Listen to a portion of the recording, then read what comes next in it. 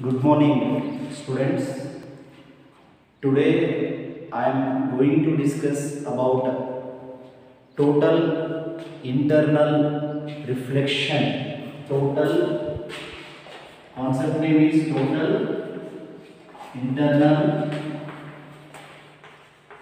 internal reflection. T I R T I So total internal reflection, the concept name. So say here we shall consider water medium. This is the water medium. This is the water tank. This is the water tank. It is filled with water. This water tank is filled with water.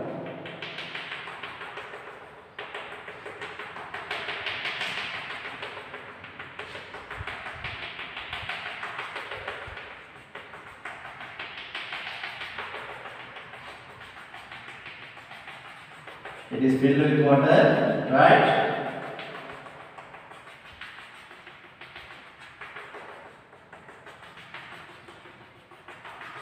So imagine there is a source of light.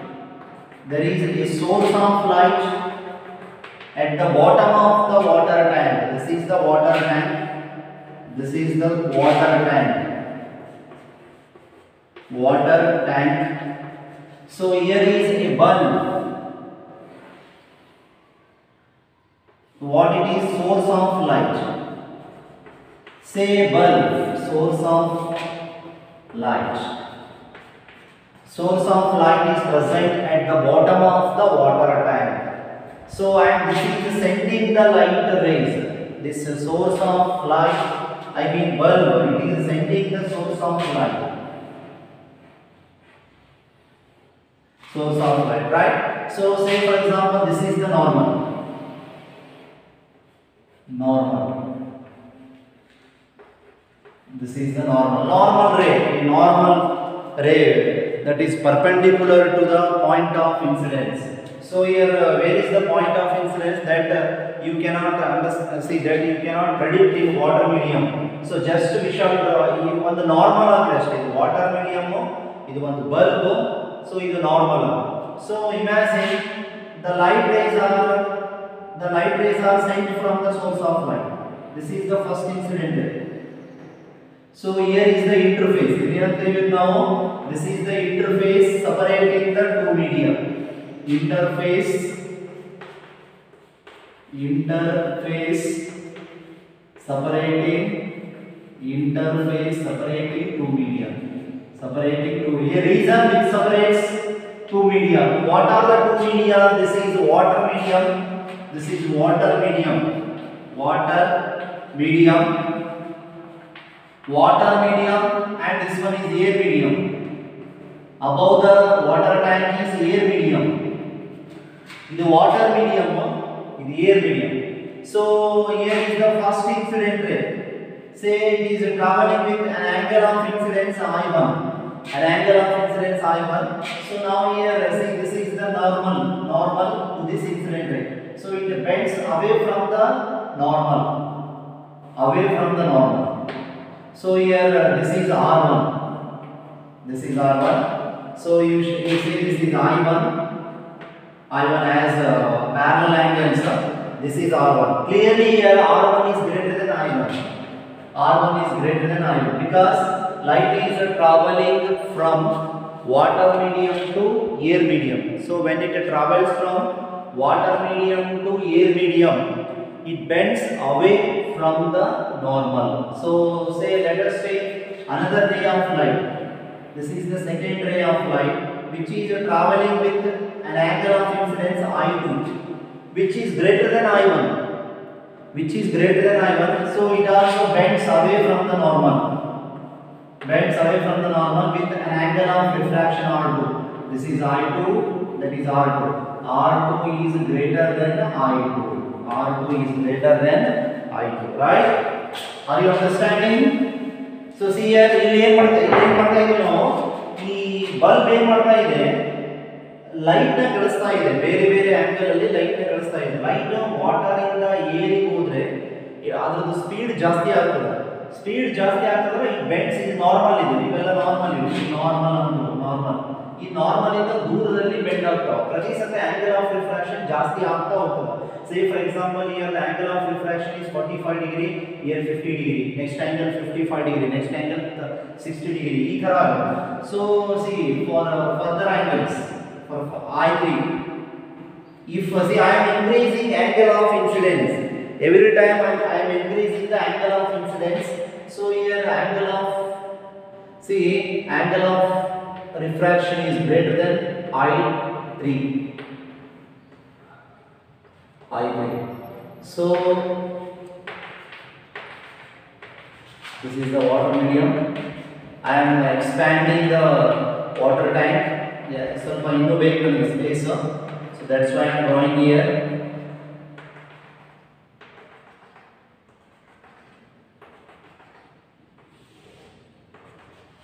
So ಈಗ ನೋಡಿ ಇಲ್ಲಿ ನೋಡಿ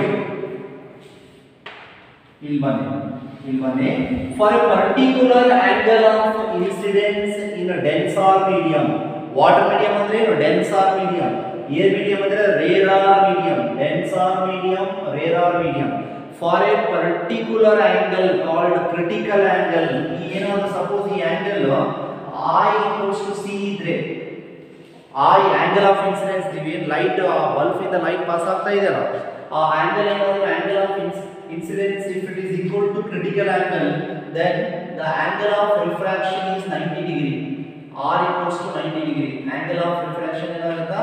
90 degree ಆಗುತ್ತಾ? And refracted ray grazes the interface refracted ray ಏನಾಗುತ್ತಾ?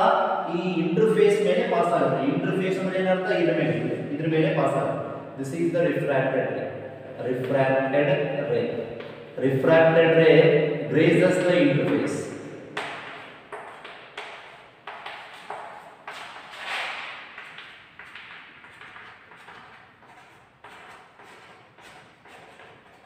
Refracted ray grazes the interface. So what is this? C is called uh, CSC is called critical angle.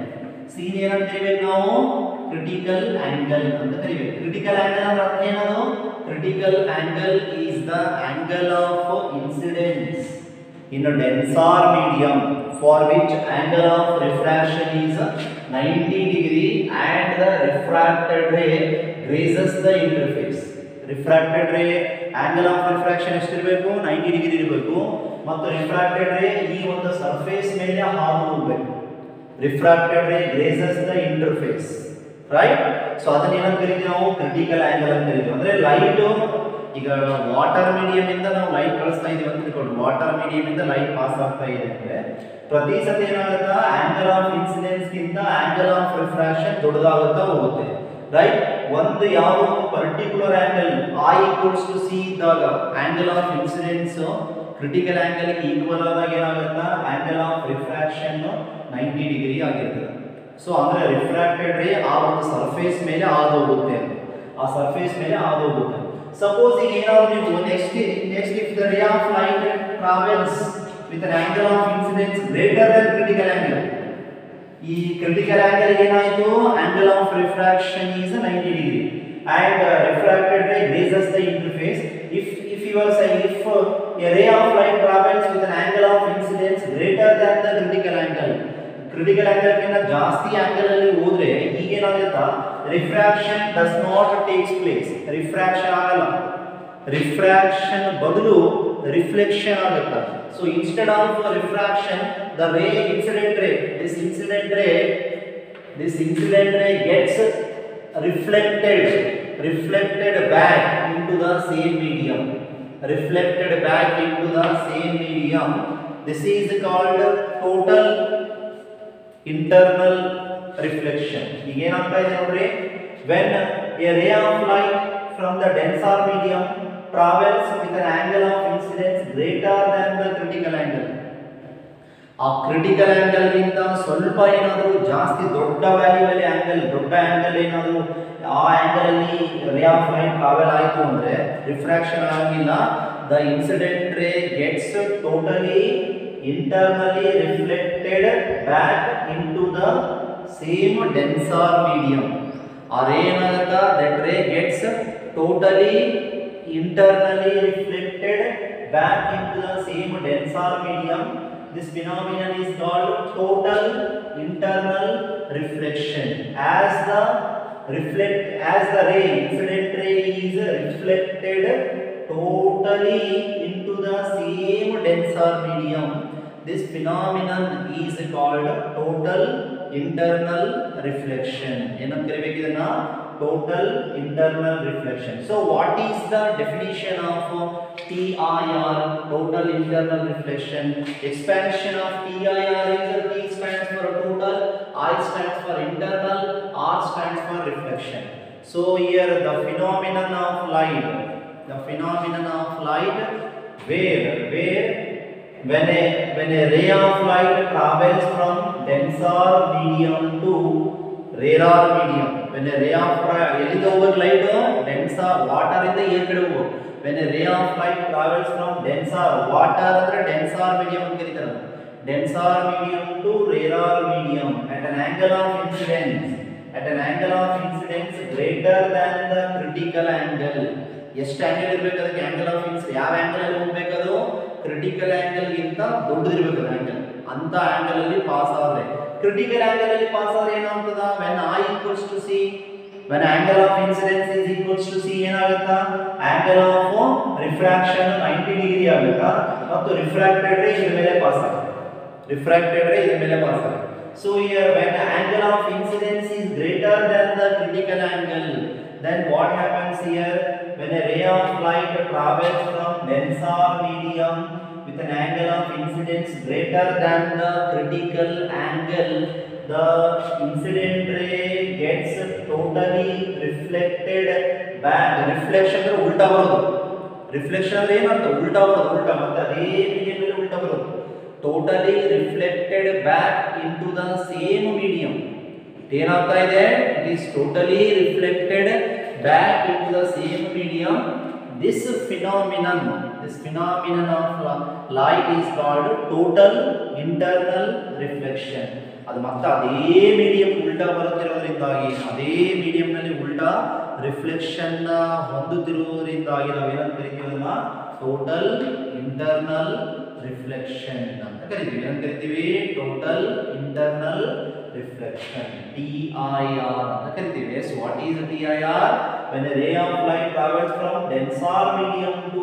rarer medium with an angle of incidence greater than the critical angle the incident ray is totally reflected back into the same medium that phenomenon of light is called total internal reflection and what is a critical angle critical angle is the angle of incidence in a denser medium ಈ denser medium ನಲ್ಲಿ light travel ಆಗುವಾಗ ಏನ್ angle of incidence ಇರುತ್ತಲ್ಲ ಅದು critical angle ಇದ್ರೆ suppose ಅದಕ್ಕೆ ಏನಾಗಬೇಕು suppose if the light travels with an angle of incidence equals to critical angle then angle of refraction is 90 degree and the refracted ray grazes the interface refracted ray ಏನಾಗುತ್ತಾ it grazes the interface this so this this angle is called critical angle and it is denoted by the symbol c critical angle is denoted by the symbol c so ಇಲ್ಲಿ conditions ಏನದಾವ ಅಂತಂದ್ರೆ T I R ಆಗ್ಬೇಕಂದ್ರೆ ಎರಡು conditions ಅದಾವ what are those two conditions first condition is light ಎಲ್ಲಿಂದ ಎಲ್ಲಿ travel ಆಗಬೇಕು light denser medium ಇಂದ rarer medium ಕಡೆ ಲೈಟ್ ಟ್ರಾವೆಲ್ ವಾಟರ್ ಮೀಡಿಯಂ ಇಂದ ಏರ್ ಮೀಡಿಯಂ ಕಡೆ ಅಥವಾ ಗ್ಲಾಸಿಂದ ಏರ್ ಕಡೆ ವಾಟ್ರಿಂದಲೇ ನಾವು ತಗೊಳ್ಳೋದು. ಇದು ಟಿ ಐ ಆರ್ ಆಗೋದು ವಾಟರ್ನಲ್ಲಿ ವಾಟರ್ ಮೀಡಿಯಂ ಇಂದ ಏರ್ ಮೀಡಿಯಂ ಕಡೆ ಲೈಟ್ ಟ್ರಾವೆಲ್ ಆಗೋದು. ಸೊ ಫಸ್ಟ್ ಕಂಡೀಷನ್ ಏನೇನು?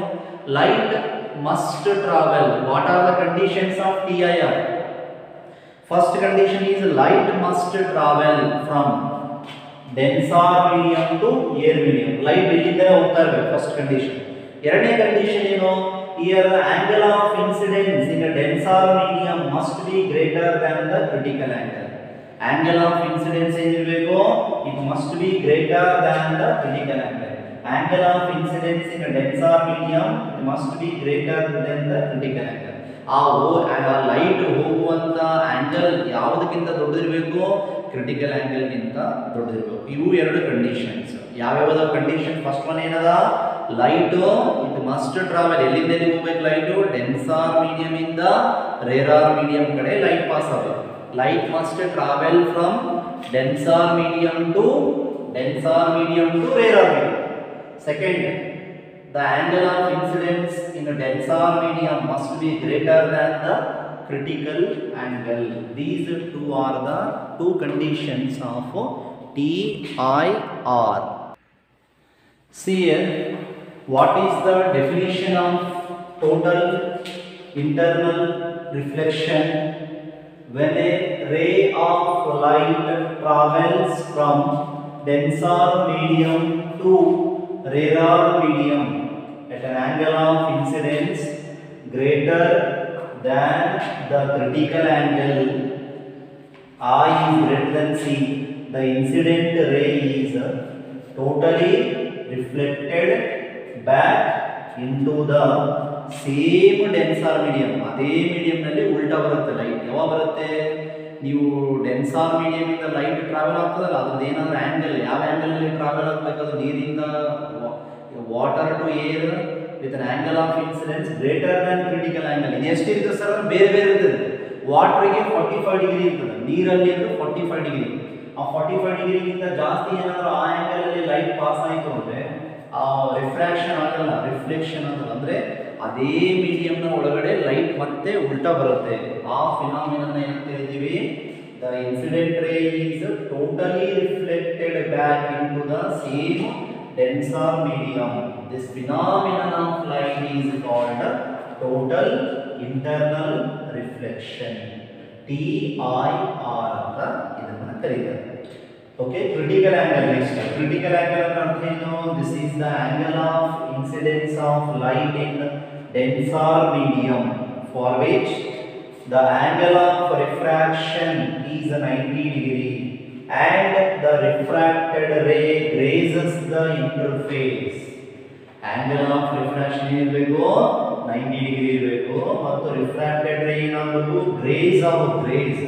ಗ್ರೇಸಿಂಗ್ ಅಂದ್ರೆ ಅರ್ಥ ಏನು ಆ ಸರ್ಫೇಸ್ ಮೇಲೆ ಹಾದು ಹೋಗ್ಬೇಕು ರಿಫ್ರಾಕ್ಟೆಡ್ ರೇ ಆ ವಾಟರ್ ಏರ್ ಮೀಡಿಯಮ್ ಏನು ಅಪ್ಪರ್ ಲೇಯರ್ ಅಲ್ಲ ಆ ಲೇಯರ್ ಮೇಲೆ ಆ ಒಂದು ರಿಫ್ರಾಕ್ಷನ್ ಆದ ನಂತರ ರೇ ರಿಫ್ರಾಕ್ಟೆಡ್ ರೇ ಅದ್ರ ಮೇಲೆ ಹಾದು ಹೋಗ್ಬೇಕು ಮತ್ತು ಆಂಗಲ್ ಆಫ್ ರಿಫ್ರಾಕ್ಷನ್ ಏನಿರಬೇಕು ನೈಂಟಿ ಡಿಗ್ರಿ ಇರಬೇಕು.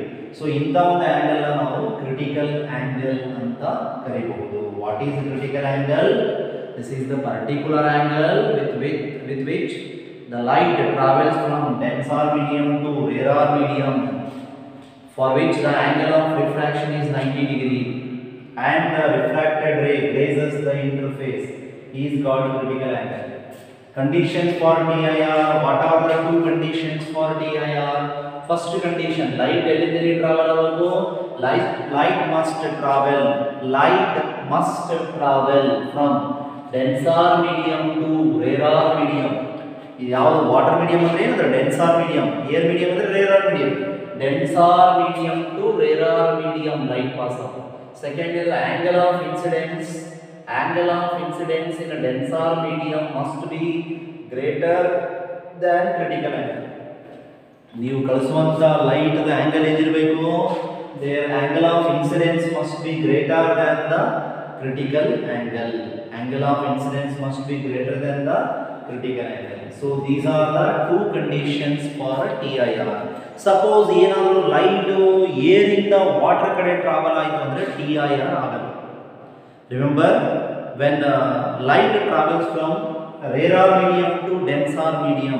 T I R will not takes place here the reason is see ಈ ಕಂಡೀಷನ್ಸ್ ಅಪ್ಲೈ ಆದರೆ ಮಾತ್ರ ಟಿ ಐ ಆರ್ ಆಗುತ್ತೆ ನೀವು ಏರಿಂದ ವಾಟರ್ ಕಡೆ ಕಳಿಸಿದ್ರೆ ಇಮಿಡಿಯೇಟ್ ಅದರ ಸ್ಪೀಡ್ ಏನಾಗ್ಬಿಡ್ತದ? ಕಡಿಮೆ ಆಗಿಬಿಡ್ತದೆ ಸ್ಪೀಡ್ ಕಡಿಮೆ ಆಯಿತು ಅಂದರೆ ಟೂವರ್ಡ್ಸ್ ದ ನಾರ್ಮಲ್ ಕಡೆ ಬೆಂಡ ಆಗ್ತಾ ಹೋಗ್ತದೆ. ನಾರ್ಮಲ್ ಕಡೆ ಬೆಂಡೆ ಆಗ್ತಾ ಹೋಗ್ತದೆ. ನಾರ್ಮಲ್ ಕಡೆ ಬೆಂಡ ಆಗ್ತದೆ. ಅದೇ ನೀವು ವಾಟರ್ ಟು ಏರಿಗೆ ಕಳಿಸಿದ್ರೆ away from the normal away from the normal ನಿಮ್ಗೆ ಒಂದು ನೈಂಟಿ ರಿಫ್ರಾಕ್ಷನ್ ನೈಂಟಿ ಡಿಗ್ರಿ ಆಗ್ತದೆ.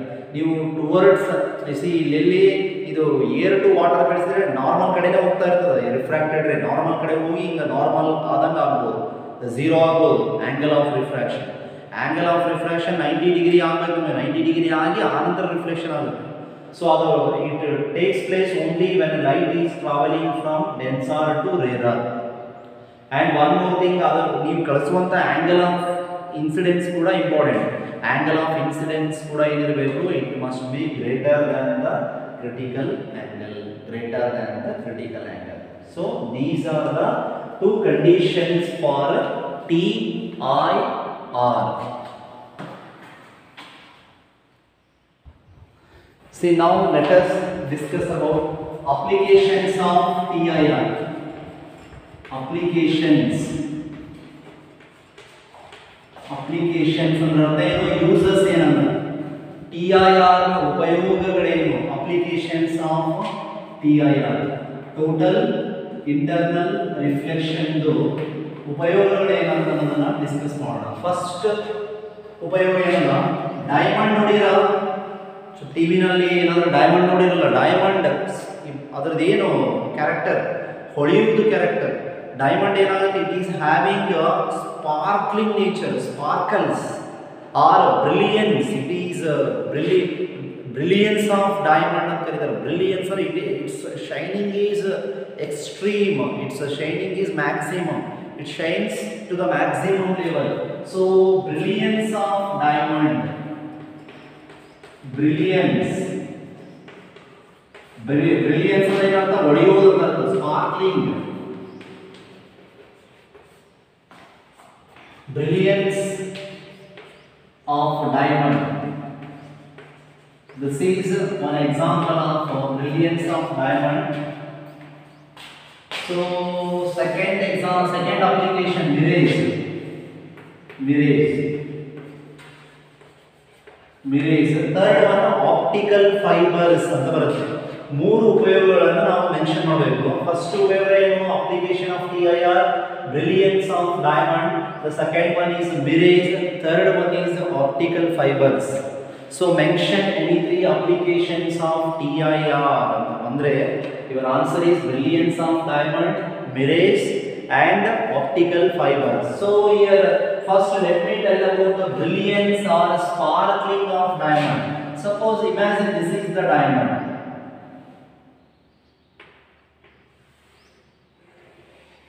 This is the diamond. Here see the uh, a diamond uh, ಹೆಂಗ ಕಟ್ ಮಾಡಿರ್ತಾರೆ ಅನ್ನೋದನ್ನು ಸ್ವಲ್ಪ ನೋಡಿ ನೀವು diamonds just imagination ಅನ್ಕೊಡ್ರಿ this is not the original diamond just diamond ಅನ್ಕೊಡ್ರಿ ಆ ಒಂದು ವಜ್ರನ ಹೆಂಗೆ ಕಟ್ ಮಾಡಿರ್ತಾರೋ, ಅದ್ರ ಮೇಲೆ ಅದ್ರದ್ದು ಬ್ರಿಲಿಯನ್ಸ್ ಅಥವಾ ಅದ್ರ ಹೊಡೆಯುವುದು ಅದ್ರ ಮೇಲೆ ಡಿಪೆಂಡ್ ಇರ್ತದೆ so here actually see critical angle critical angle for diamond is twenty four degree critical angle for ಡೈಮಟೀಸ್ twenty four for diamond is 24 degree refractive index for diamond is 2.5 2.5 ಈ ಒಂದು ನಾವು ಕ್ರಿಟಿಕಲ್ ಆಂಗಲ್ ಎಷ್ಟಿದೆ? ಡೈಮಂಡಿಗೆ twenty four degree ಇದೆ. Refractive index ಎಷ್ಟಿದೆ?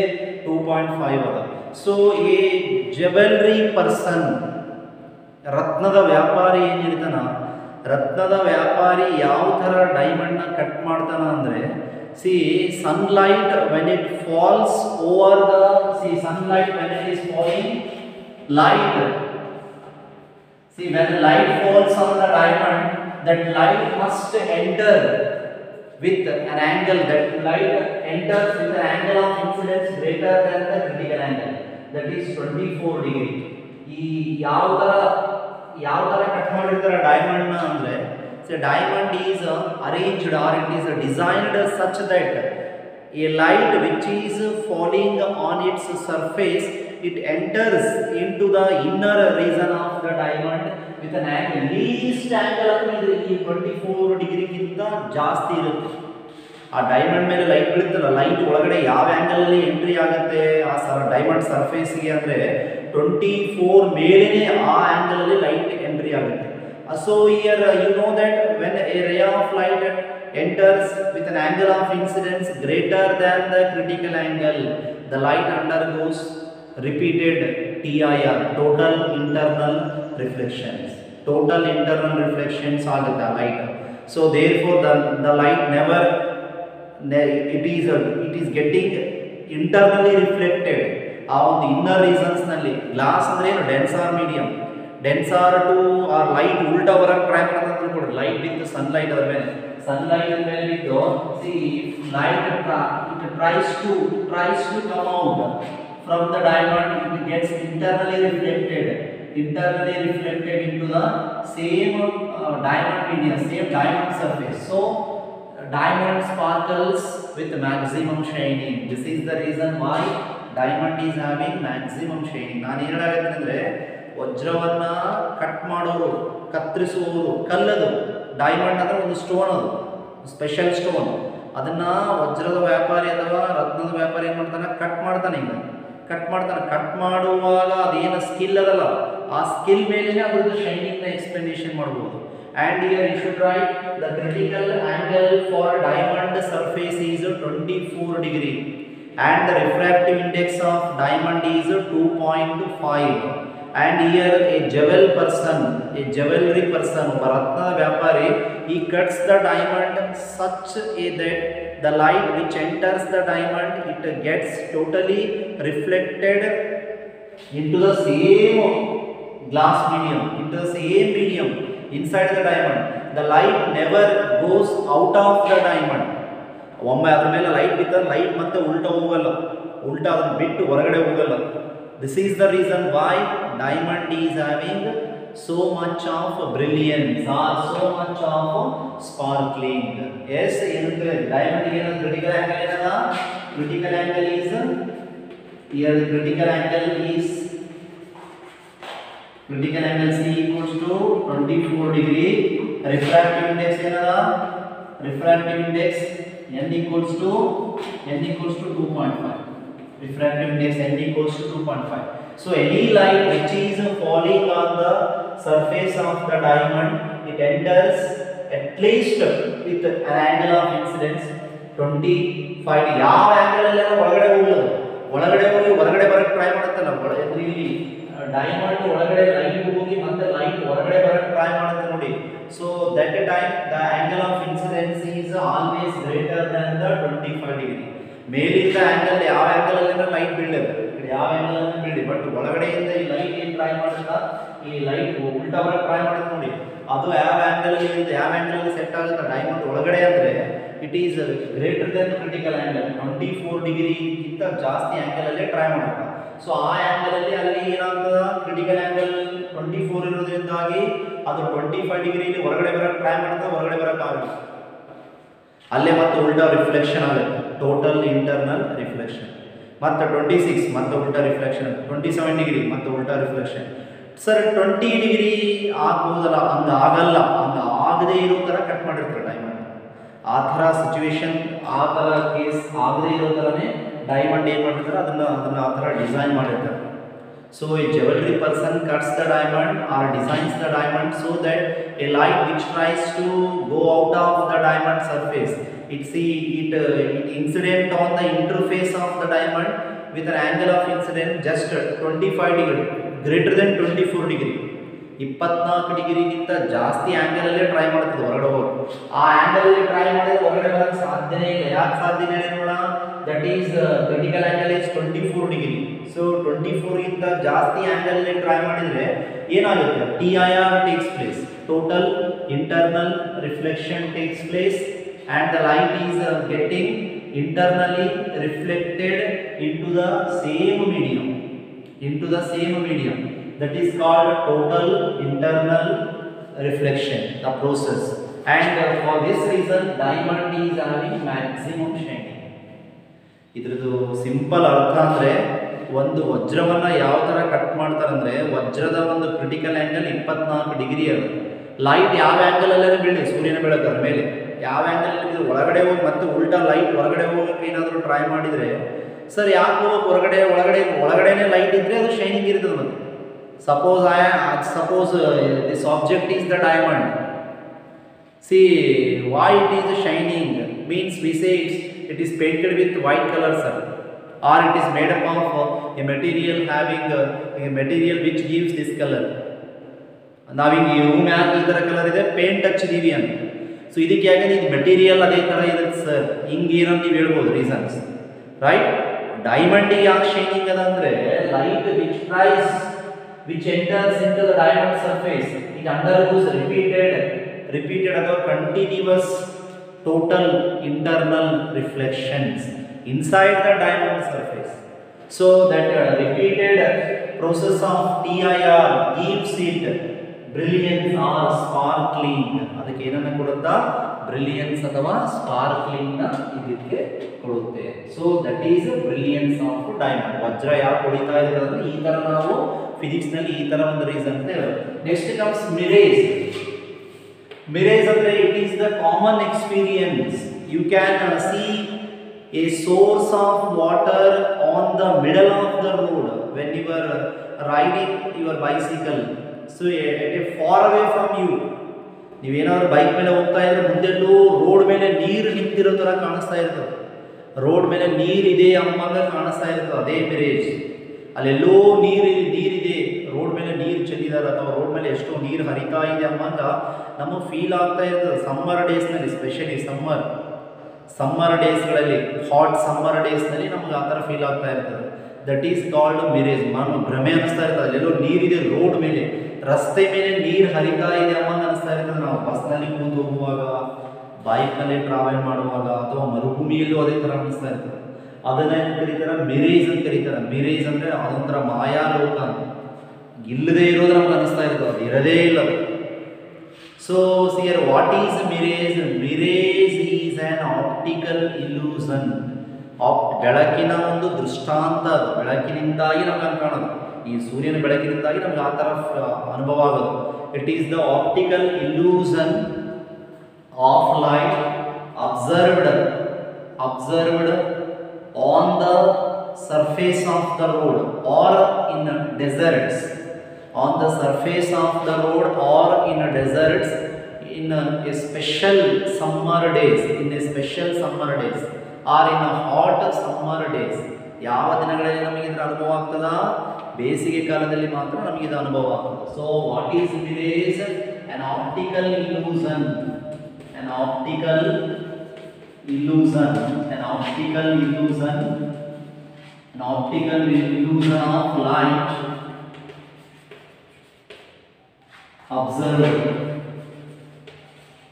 observed on on the surface of road on the surface of roads or in deserts in a hot summer day in a hot summer day